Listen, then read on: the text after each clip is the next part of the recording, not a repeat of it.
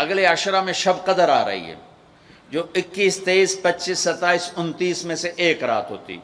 हमारे पाकिस्तान में सिर्फ़ 27 को लोग जाग रहे होते हैं। मेरे नबी का फरमान है शब कदर पाँच रातों में घूमती है। तो आप पाँच रातें जाग लो आपको शब कदर मिल गई। इन्ना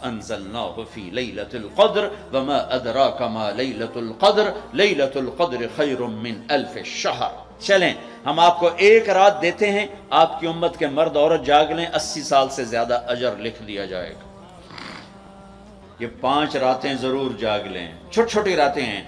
तरावी से फारिग हो तो तीन चार घंटे की रात बाकी रह जाती है। कुछ नफल पढ़ लो, कुछ कुरान पढ़ लो, कुछ दुआ मांग लो, कुछ ज़िक्र कर लो।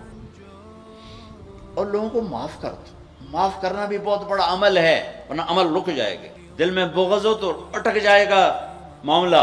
चार आदमियों की बख्शिश नहीं होती। अल्लाह ना करे कोई हम में से कोई हो। कोई हो तो मैं बता दूँ ताकि जल, ताकि वो अभी से तोबा कर ले।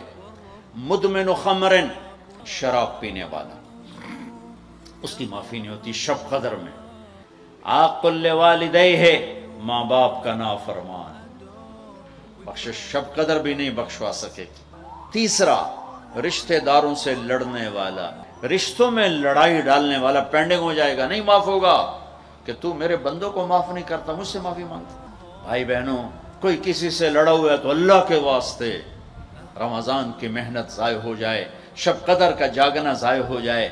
उससे बेहतर यह कि हम सुलह कर दें माफ़ी मांग लें, माफ़ कर दें, सीने से लगा लें दरगुजर करें, चौथा कौन है? कीना रखने वाला। कीना क्या है? कि मैं इनको नुकसान पहुंचाना चाहता हूँ अब। इसको कहते हैं कीना। मेरे भाई बहनों किसी को नुकसान पहुंचाना किसी का बुगज रिश्तेदारों से कथा ताल्लुक माँ बाप की नाफरमानी शराब का पीना ये शब कदर को भी बेकीमत कर देंगे